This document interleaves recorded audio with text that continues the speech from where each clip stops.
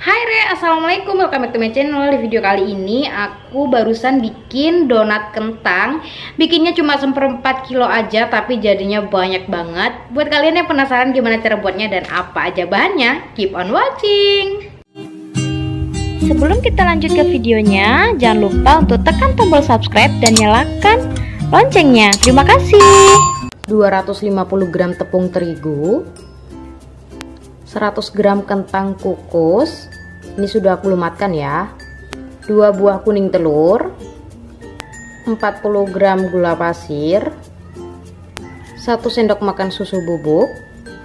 30 gram margarin. 1 setengah sendok teh ragi instan atau permipan. 80 ml air hangat-hangat kuku sekarang langsung aja kita bikin biangnya. Ini aku masukin air hangat-hangat kuku, gula pasir, dan juga ragi instannya. Kemudian diaduk sampai semuanya tercampur rata. Kalau udah kecampur, kita diamkan kurang lebih selama 7-10 menitan biar si raginya itu mengembang. Nah, ini raginya udah ngembang seperti ini. Lanjut kita langsung aja taruh tepung terigu ke dalam baskom.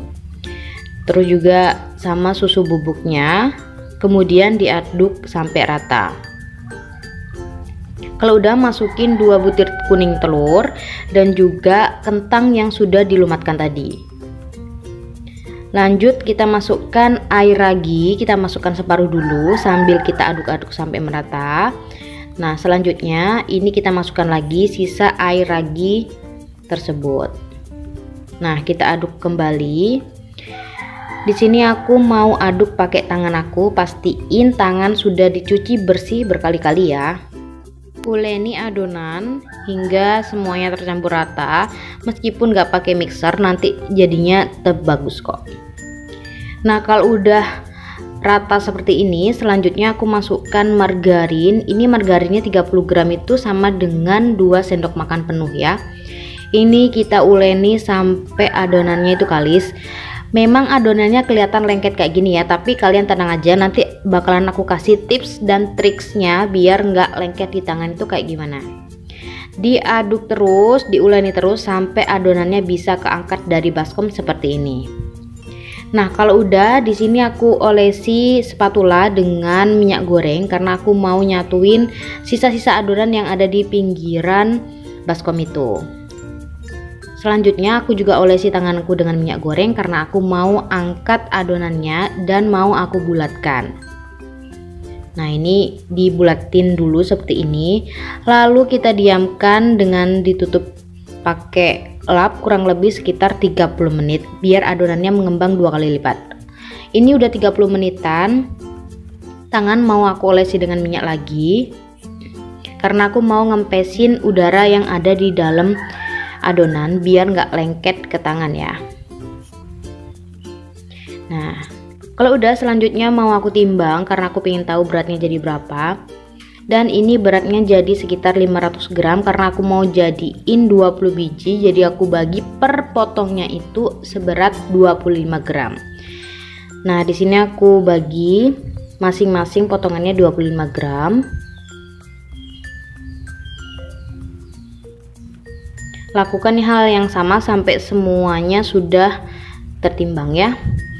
Lanjut di sini aku siapin uh, wadah lagi ya yang sudah aku taburi dengan tepung terigu. Lalu aku bulatkan adonannya itu satu persatu hingga semuanya jadi bulatan adonan seperti ini.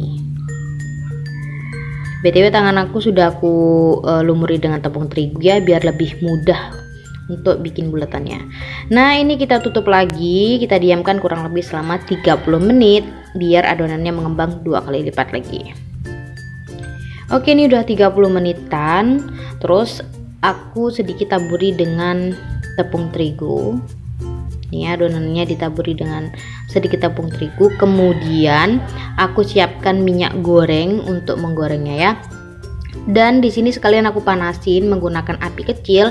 Jadi kita diamin dulu sekitar 5 menitan. Sambil nunggu minyak gorengnya panas di sini aku pipihkan adonan donatnya seperti ini. Biar adonannya nggak lengket di situ aku lumuri dulu tanganku pakai tepung terigu lalu aku tap tap nah di sini aku lubangi bagian tengah donatnya pakai spuit yang aku celupkan dulu ke tepung terigu lalu aku lubangi. Nah ini udah semuanya udah dilubangi ya sekarang waktunya kita menggoreng. Ini btw minyaknya udah panas langsung aja kita goreng. Uh, tips dari aku kalau menggoreng donat jangan dibolak-balik biar minyaknya tuh nggak ngeresep ke donatnya ya. Nah ini kalau udah berwarna kecoklatan langsung aja kita balik. Dan kalau semua sisinya sudah berwarna kecoklatan langsung aja kita angkat dan kita tiriskan. Nah di sini donatnya mau aku olesi dengan margarin terus aku taburi dengan misis coklat dan juga rainbow misis hmm, udah siap nih Oke deh, ini dia donatnya. Donat kentang bikinnya cuma seperempat kilo aja tepungnya ya. Tapi hmm, sekarang waktunya kita coba. Bismillahirrahmanirrahim. Hmm, empuk banget. Nih, tuh, dia berserat. Hmm, tuh, ini rasanya enak banget, empuk, lembut nggak usah dibanting-banting cuma diaduk-aduk aja. Nguleninnya juga nggak usah pakai mixer cuma diuleni pakai tangan. Hmm. Hmm. Enak banget. Oke okay, sekian dulu ya bikin donat kentangnya. Semoga video ini bisa menginspirasi kalian. Kalau kalian suka dengan video ini Jangan lupa untuk di like, comment, dan subscribe. Thanks for watching. Bye. Assalamualaikum warahmatullahi wabarakatuh